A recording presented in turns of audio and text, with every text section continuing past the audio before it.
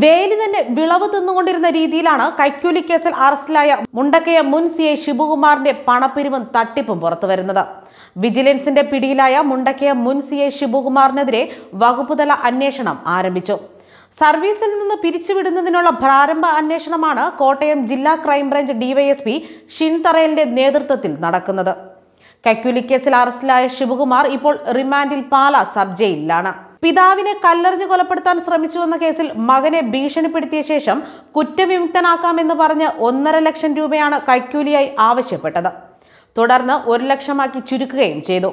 ആദ്യ ഗഡുവായ അൻപതിനായിരം രൂപ വാങ്ങുന്നതിനിടയിലാണ് ശിവകുമാറിനെ കിഴക്കൻ മേഖല vigilance S P V G Vinod Kumar നേരിട്ടെത്തി അറസ്റ്റ് ചെയ്തത്.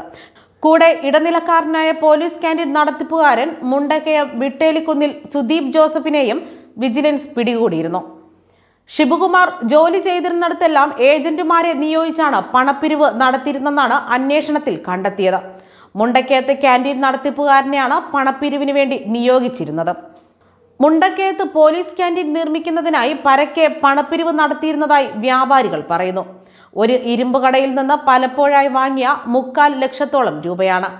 കമ്പിയും സിമ്മന്റും വാങ്ങിയ ഇനത്തിൽ അറുപത്തി അയ്യായിരം രൂപയാണ് നൽകാനുള്ളത്. കൂടാതെ പണിക്കാർക്ക് കൂലി നൽകാനായി സി ഐ മൊബൈൽ ഫോണിൽ ബന്ധപ്പെട്ട് ഉടൻ തരാമെന്ന് പറഞ്ഞാണ് പണം വാങ്ങിയതെന്നും പറയുന്നു. രണ്ടാഴ്ചയ്ക്കുള്ളിൽ ബിൽ തുക തന്നുകൊള്ളാമെന്ന് പറഞ്ഞാണ് സാധനങ്ങൾ വാഹനത്തിൽ കയറ്റിക്കൊണ്ടുപോയത് വൈകുന്നേരങ്ങളിൽ കടകളിലേക്ക് ആളുകളെ പറഞ്ഞു വിടുകയും പണപ്പിരിവ് നടത്തിയിരിക്കുകയും ചെയ്തു. ഇയാൾ ജയിലിലായതോടെ എവിടെ നിന്ന് പണം കിട്ടുമെന്ന വേവലാതിയിലാണ് അവിടുത്തെ വ്യാപാരികൾ ഇപ്പോൾ. പച്ചക്കറി മാംസ വ്യാപാരികൾക്കും വൻതുക നൽകാനുണ്ട്. ക്യാന്റീന്റെ മറവിലും ഇയാൾ തട്ടിപ്പ് നടത്തിയിട്ടുണ്ടെന്ന് അറിവായിട്ടുണ്ട്.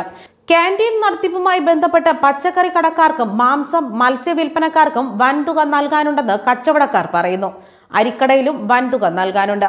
ഇതേക്കുറിച്ചെല്ലാം പോലീസ് അന്വേഷണം ആരംഭിച്ചിട്ടുണ്ട്. ഭീഷണിപ്പെടുത്തി പ്രതികളിൽ നിന്നും പണം തട്ടിയെടുക്കുന്നതും പതിവായിരുന്നുവെന്നാണ് അറിയുന്നത്. സി ഐ ആയതിനാൽ പറയുന്ന പണം കൊടുത്ത് കേസിൽ നിന്ന് ഒഴിവാക്കാനാണ് പലരും ശ്രമിച്ചിരുന്നത്. മാനഹാനി ഭയന്ന് പല വിവരങ്ങളും പുറത്തു പറയാറില്ല. അതാണ് വീണ്ടും വീണ്ടും കൈക്കൂലി വാങ്ങാൻ ശിവകുമാറിന് പ്രചോദനമായത്. കൊല്ലം ശാസ്താംകോട്ട പേരുവഴി വിശാഖം വീട്ടിൽ വി. ശിവകുമാർ കഴക്കൂട്ടം ഇൻസ്പെക്ടറായിരിക്കെ കൈക്കൂലി വാങ്ങിയതിന് വിജിലൻസ് അറസ്റ്റ് ചെയ്തിരുന്നു. ഈ കേസ് നിലനിൽക്കെയാണ് മുണ്ടയ്ക്കകത്തെത്തിയ ഇയാൾ കൈക്കൂലി കേസിൽ കുടുങ്ങിയത്.